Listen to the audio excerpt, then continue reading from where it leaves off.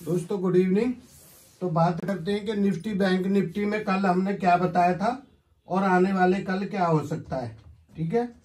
Disclaimer पढ़ना अनिवार्य है। इसमें यही है कि मेरा ये पर्सनल व्यू होता है और यूट्यूब के डिस्क्रिप्शन में भी दिया गया है। जैसे आज हुआ है, गलत भी हो सकता है। बात समझ रहे? आप लिखोगे कि आपने इसके ऊपर नहीं बोला। मैं तीन बार बोल देता हूँ, गलत हुआ है, ठीक है? मतलब मैं कल ही बोला था, आज बृहस्पतिवार है। अब देखो, तीन दिन से पीछे तीन दिन क्या बता रहे थे कि मंदी है, ठीक है? वहाँ कहीं ना कहीं मार्केट गिरा भी है। अभी मैंने जब देखा, आज मार्केट क्यों गिर रहा है मॉर्निंग में, बैंक निफ्टी ऊपर गया साठ सत्तर तो ऐसा अगर कोई कॉल ले गया है तो निकलने का मौका दिया है एकदम गैप डाउन नहीं हुआ है मार्केट, बहुत बड़ा के कोई लॉस हो जाए। इसलिए मैंने बोला भी था कि अगर खरीदते हो, हम कोई पोजीशन नहीं लेके गए तो नेक्स्ट एक्सपायरी की आप लोग लेके जाना। ठीक है? अब जो इसकी लेके जाएँगे, उनको लॉस होगा, क्योंकि उनके रेट घट जाते हैं। ठीक है? तो अभी 21 तारीख को क्या आ रहा है? तेज़ी हो सकती है। ठीक है? तो 21 तारीख को क्या है? तेज़ी है। अब यहाँ पे मैं क्या बता रहा था, आपको उसमें भी डाला था कि देवगुरु शनि अस्त हो चुके हैं। अभी बृहस्पति भी 22 तारीख से अस्त हो रहे हैं। तो ये हमारे जो 12 ग्रह हैं, पहले नौ ग्रह मानते थे, उनमें सबसे बड़े ग्रह हैं। तो इनका इम्पैक्ट आता है। आप देखोगे ड्यूरेशन में तो एक इम्पैक्ट मिलता है मार्केट के ऊपर। तो ये हो सकता है कि उसका ये इम्पैक्ट हो। ठीक है? तो ये जब अस्त होते हैं तो कर देते हैं मंदी मैं ये नहीं कह रहा कि ये गलत हुआ है इसकी वजह से, पर मैं तुम लोगों को आगाह कर रहा हूँ कि आप पोजीशन ना बनाओ।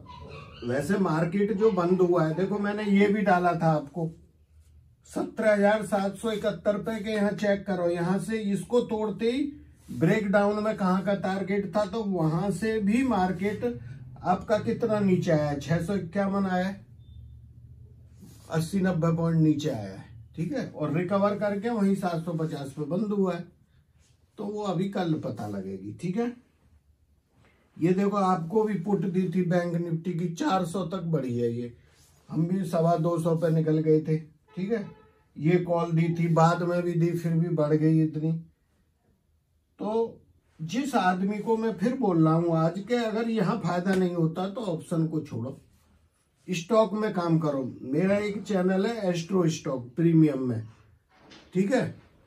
कई शेयरों ने पिछले, जो शेयर हमने कल में देख रहा था, डाला था मैं रिपीट करके, दो तीन शेयर मतलब अप्रोक्स डबल से ज़्यादा हो गए, कोई डबल हो गया।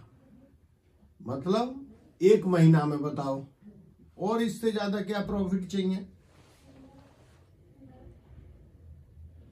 एक ये फाइनेंशियल एस्ट्रोलॉजी का कोर्स शुरू होने वाला है। अभी आज बृहस्पतिवार हो गई, परसों से शुरू होगा, जिसको करना है कर सकता है।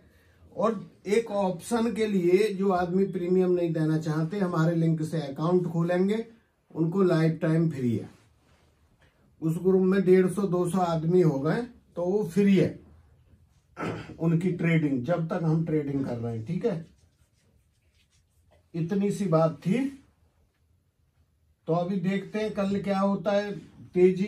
तो मार्केट में यही है, पहले से ज़्यादा सोचो मत, अगर जिधर चल देता है चल दो।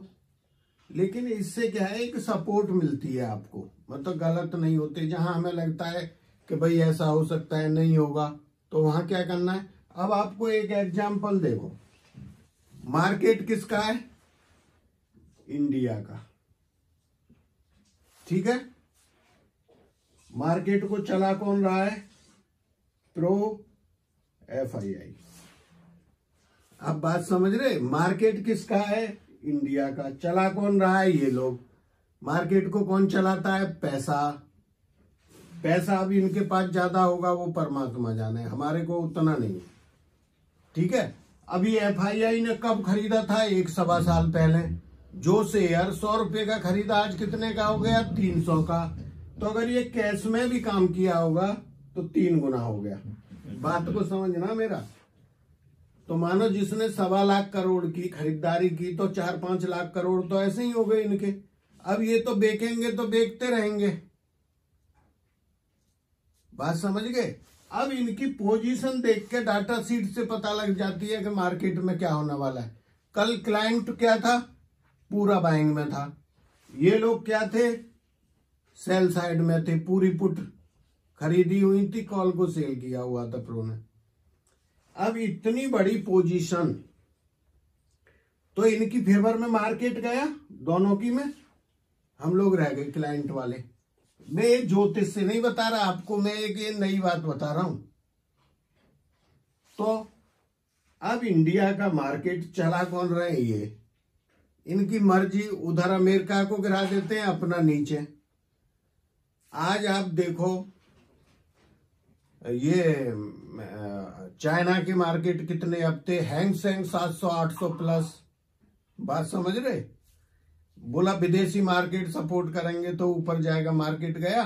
नहीं गया। इसके बाद में ये डाव वगैरह, ये भी सब प्लस में थे। मतलब कोई मार्केट थोड़ा बहुत होगा नहीं, सब अच्छे प्लस में थे। जापान के मार्केट अच्छे प्लस में थे। तो आप, मेरा कहने का मतलब ये है कि इसके लिए देखो, एक टेक्निकल होता है, विदेशी मार्केट की मदद लेते हैं, और भी बहुत डाटा होते हैं। तो ये सारी चीज़ भी फेवर में होने के बाद हम नीचे। नीचे क्यों थे? ये पोजीशन नीचे की बना के गए थे। उधर अमेरिका को गिरा लेते हैं रात को, सुबह को नीचे खुल जाते हैं। तो इसलिए ये फाइनेंशियल एस्ट्रोलॉजी की ज़रूरत पड़ी। मैंने काफ़ी टेक्निकल सीखा, सब कुछ सीख लिया, फिर भी कुछ नहीं हो रहा था। देखो, होता है, सब अपनी अपनी जगह टेक्निकल बहुत अच्छा काम करता है। हम लोग नहीं सपोर्ट रेजिस्टेंस यूज़ करता मैं। क्यों नहीं काम कर रहा? कर रहा है। लेकिन कुछ सिचुएशन ऐसी बन जाती है जहाँ हम गुमराह हो जाते हैं। अब नीचे जाएगा, ऊपर। ऊपर जाएगा, नीचे। तो फिर हम इसकी मदद से लेते हैं। इसमें भी क्या होता है कि मान लो 20 दिन मार्केट खुला तो आपको बारह से पंद्रह दिन मिल जाते हैं तकरीबन के हाँ भाई, यहाँ सही है। और भी कम मान लो, दस दिन तो आपको करेक्ट पता लग रही है ना कि मार्केट किधर है। आप पोजीशन ले लो, और भी कम कर दो, पाँच दिन तो पता लग रही है ना। वो तो करेक्ट है, वहाँ पोजीशन लेके जाओ, बाकी दिन मत लो, या दस दिन ले लो। या रोज लोगे तो तीन चार दिन हो सकता है, बीस दिन में हो जाएगा। बाकी दिन तो आपकी फेवर में। तो कहने का मतलब ये है मेरा कि मार्केट इंडिया का चला कौन रहा है?